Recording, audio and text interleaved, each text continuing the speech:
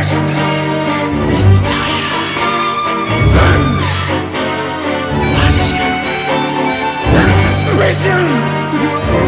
Jealousy, anger, betrayal. Love is for the highest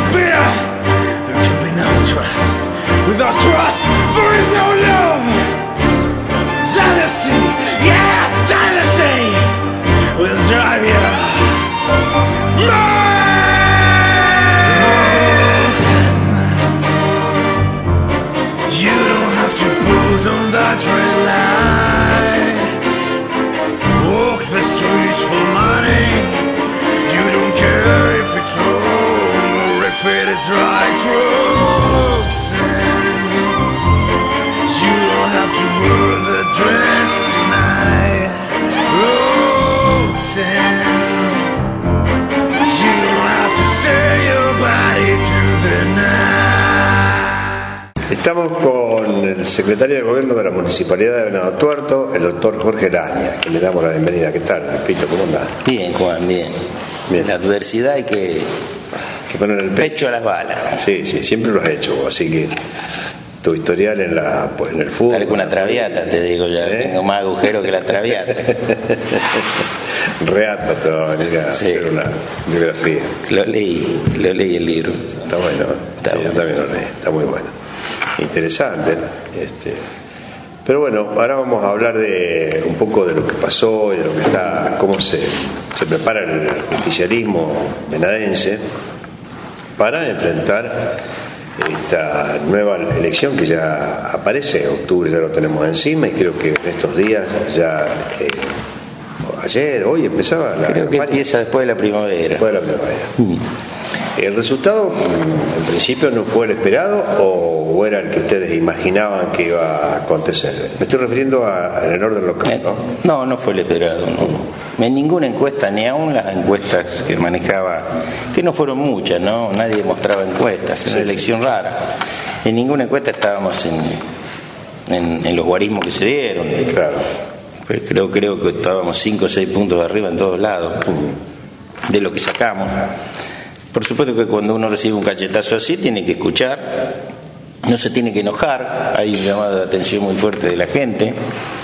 Yo creo que lo nuestro no fue un problema de gestión, la gestión actual de, de José Freire no es mala, estamos haciendo obra pública, estamos llevando adelante todos los programas de inclusión que muchas veces hemos hablado.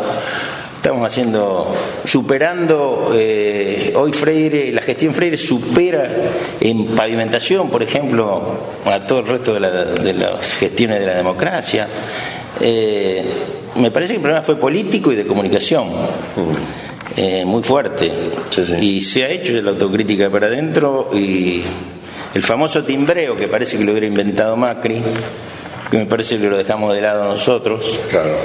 es la única manera que nosotros teníamos de hacer política. Me refiero desde Roberto Scott para acá. Eh, y creo que abandonamos eso, que lo dejamos a los candidatos un poco solo en esa tarea. Y, a la semana siguiente ya estábamos en la calle con cualquier pretexto. Por ejemplo, no sé, un grupo está recorriendo la calle Brown para ver si la gente qué opina sobre un posible cambio de, mano. Por, por darte un ejemplo. Eh, renovamos referentes en todos los barrios y bueno, yo creo que José se ha puesto al, al frente de la campaña y bueno, tenemos muchas expectativas de, de revertir lo que ya revertimos hace dos años atrás. Eh, acá la lucha es el quinto concejal. El quinto concejal es, es, un, es una banca clave. Es una banca que puede decidir el derecho o no a veto que tenga un, un- un intendente, que mucha, poca gente lo conoce, pero hace la gobernabilidad, ¿no? Sí. Eh, yo creo que el Consejo a veces confunde los roles y quiere cogobernar. El Consejo está para controlar y para proponer, pero no para cogobernar. Es decir, y hemos visto muchas veces que han querido darle, aprueban un presupuesto y luego han querido darle este, un destino al dinero, que es el, el que destina el dinero, es quien gobierna. Es decir, si voy a comprar cámaras, si voy a hacer pavimentos, si voy a darle más dinero a la salud, es el intendente. Y a veces eso se se, se, mezcló con el Consejo. Y la herramienta que tuvimos a veces es vetos que casi siempre fueron propositivos, es decir, proponíamos hacerlo de tal manera. Claro. Así que hecha esta autocrítica estamos en esa tarea. Yo creo que también hubo una, nacionalización de la elección. Eso sin duda. En todos lados. El, Cambiemos lo manejó muy bien. Vos ves ejemplos concretos. Rosario. Rosario este, creo que con la primera en la historia que el socialismo abre la lista a un no, a un socialista, Pablo Hapkin, un gran dirigente, perdió con los votos en blanco, creo que salió sexto. Sí, eh, hubo resultado impensado que se votó el sello, como el caso de diputado nacional.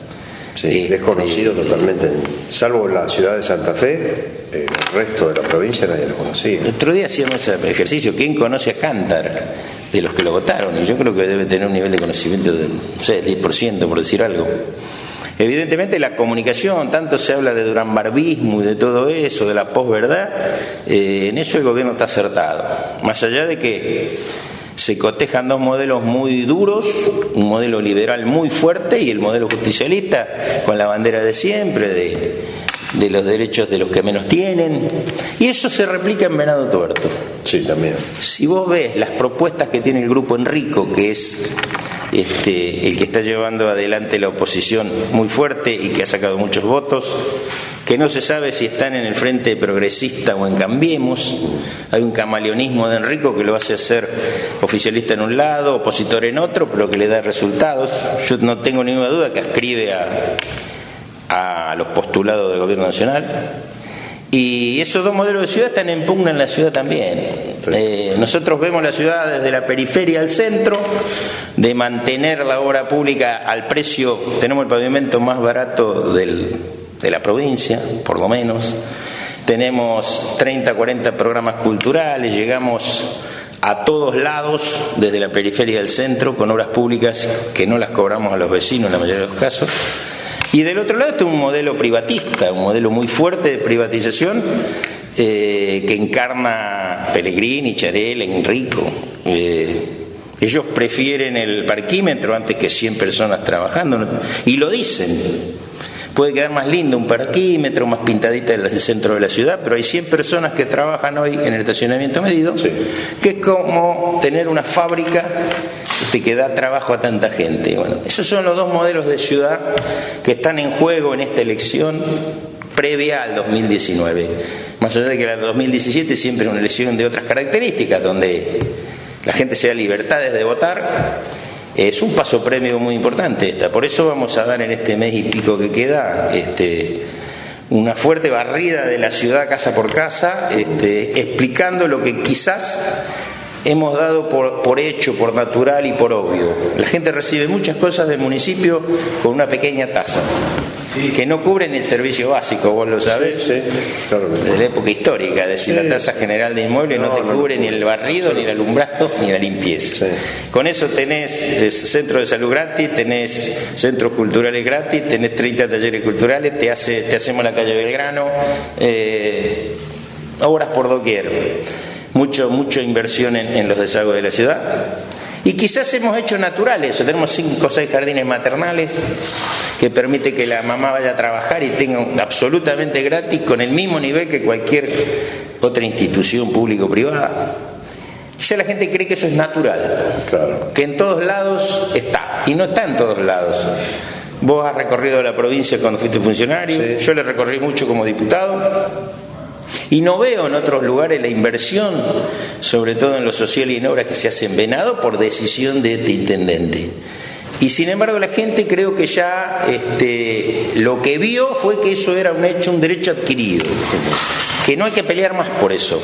Y me parece que sí, que el otro modelo precisamente acecha para hacer caer todos esos derechos. Bueno, eh, me parece que ese problema de comunicación que tuvimos fue muy fuerte. Está bien. No cortamos el, mano a mano con el vecino, que era nuestra mayor potencialidad, creo. Algo de eso pasó en, en el 2015 y el que lo reprochó públicamente y llamó la atención fue Roberto Scott. Y se repitió ahora. Sí.